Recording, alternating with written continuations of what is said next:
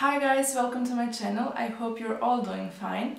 Today I will be showing you my highlighting and contouring routine using only powder products. I like to use powder products when I highlight and contour because it's easier, especially if you're a beginner, it's faster and it gives you a more natural result. Um, I also do highlight and contour with cream or liquid products, but it can be a little bit tricky, so I prefer using uh, powder products over the other ones. And if you want to see how I highlight and contour, then keep on watching. I have already applied my Etude House Primer and the Bourjois 123 Perfect Foundation. And to hide all my imperfections, I have applied this Bourjois Concealer. To set all this, I applied this Tony Moly Cat's Wink Pressed Powder Using my Jessup Tapered Face Brush, I'm applying the Bourjois Bronzing and Highlighting Duo in the shade 55 and for this step I'm using only the bronzer to warm up my face a little bit.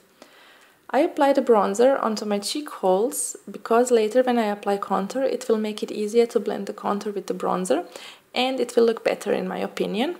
And this Bourjois bronzer is uh, like a gift from heaven and it's called also the chocolate bronzer. And as a chocoholic I just had to buy this because it looks and smells like chocolate. And by the way it's a very very good and natural looking bronzer. No matter how much you apply on your face you won't look muddy or orange. Now I'm warming my forehead and I try to concentrate the bronzer as close as possible to the hairline. To brighten uh, up some parts of my face, I'm using this Korean Light Pink Pressed Powder and it's perfect for brightening the under eye area and I'm applying it under my eyes and bring it in I'm applying it under my eyes and bringing it up towards my hairline to give the illusion of a lifted eye. Of course, I apply it in between my eyebrows and to the center of my forehead, a little bit onto my nose, my smile lines, and my chin. I look silly right now, but later I will dust the excess powder off. Using my Real Techniques contour brush and the Bahama Mama bronzer from the Balm, I'm doing contouring on my cheek hollows. And first I do this funny fish face to see where my cheek hollows are. And just imagine a line from the top of your ear towards your mouth and this is going to be your guideline and um, I'm placing the brush on the top of my ear as close as possible to the hairline and bringing it in circular motions towards the corner of my mouth, but I stop at the outer corner of my eye. When I feel that I don't have much product left on the brush, I extend the line just a little bit and stop at the center of my eye.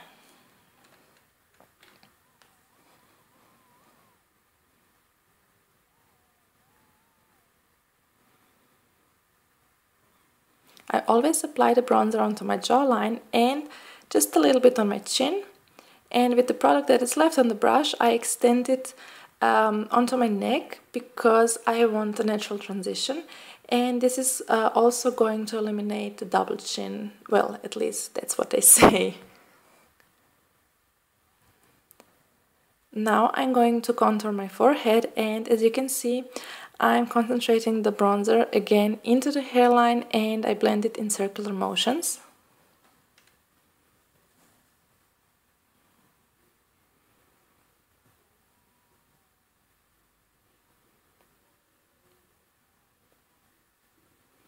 If you're not sure where to highlight and where to contour, just place your pointing finger onto your eyebrows and make a heart form with your hands like this. Everything that is outside the heart can be contoured and everything that is inside the heart can be highlighted. And this is the easiest way to understand highlighting and contouring. Here I'm using this Zoeva blush brush to apply my NYX blush in the shade Pinky. It matches my shirt, don't you think? and I apply the blush uh, in between my cheek hollows and my cheekbone and blend it well with the contour.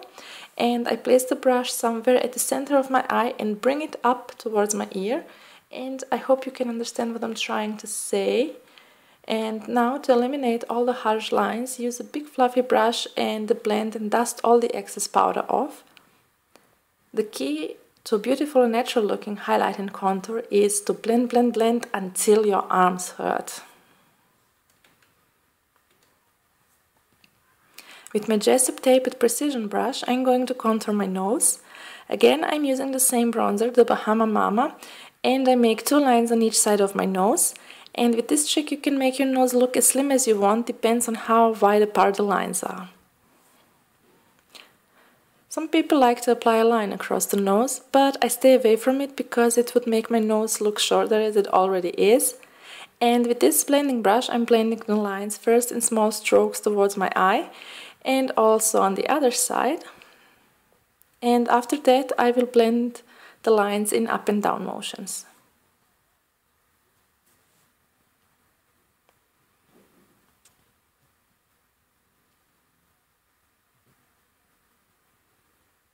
To highlight the areas I want to bring forward and stand out, I use the Kerren Photogenic Ball Highlighter together with my Jessup Tapered Highlighting Brush and I'm applying the highlighter onto my cheekbones in a C form as you can see and uh, also on the other side.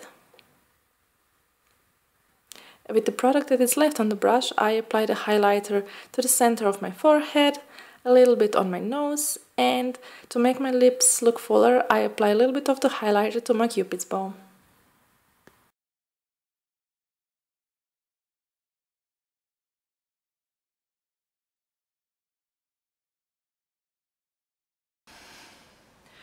So guys, we are done with the tutorial. Thank you so much for watching. I hope you have learned something new today. I will be listing all the products and brushes I have used under the video in the description box. So if you liked the video, please give it a thumbs up, feel free to share and I hope to see you in my next video. Bye!